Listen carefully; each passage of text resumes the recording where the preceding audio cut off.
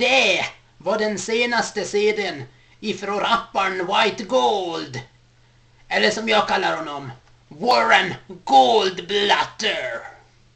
Ännu en folkilsken bitter över high school-krönikur som gnäller om hur hårt livet är ute på gatorna när man är en så kallad gangster.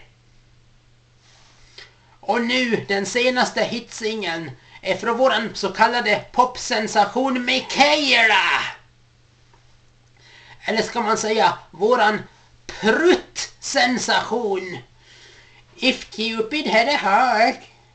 Hade Mikaela haft ett hjärta hade hon fan genast slutat att sjunga.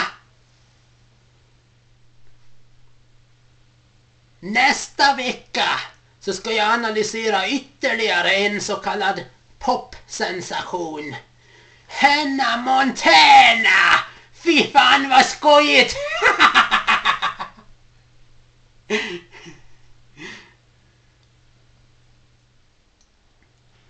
Henna och hennes band gav ett av de mest råa, vulgära, vildaste framträdanden jag någonsin har beskådat i hela mitt liv. Och jag älskade varenda minut av det. Det var rå, klassisk, ösig jävla rock'n'roll. Precis som det fan ska vara! Ja!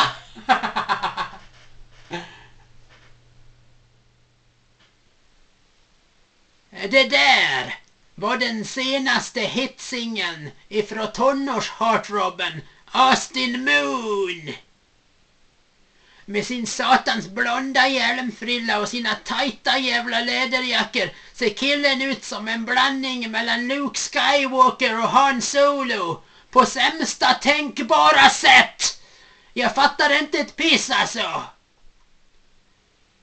Det var den senaste låten ifrån bandet Jonas. Jonas! Vem kom på det namnet? Det låter ju som ett avdankat fyllo på 80-talet i någon gammal gränd i Chicago för fan i helvete. Uh. Huvudvärk.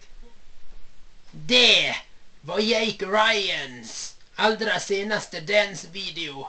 Jake Ryan, den så kallade superstjärnan. Ja. Till min förvåning så är denna video faktiskt bra. Jag tror att en stor del utav detta beror på att de valde att låta den bli koreograferad utav Shonana! Sean Nana. Som har väldigt mycket talang. Ja. Där så såg vi den första officiella trailern för den nya filmen med Jake Ryan. Jake Ryan, den så kallade tonårsstjärnan. Fy fan i helvete alltså. Jag vet att jag för ett tag sedan gav högt betyg till hans dance-video. Men trots detta har jag stor kritik mot den här trailern. Jake Ryan, inte helt olikt Austin Moon, ser ju ut som en jävla blandning mellan Luke Skywalker och Han Solo för fan i helvete. Och det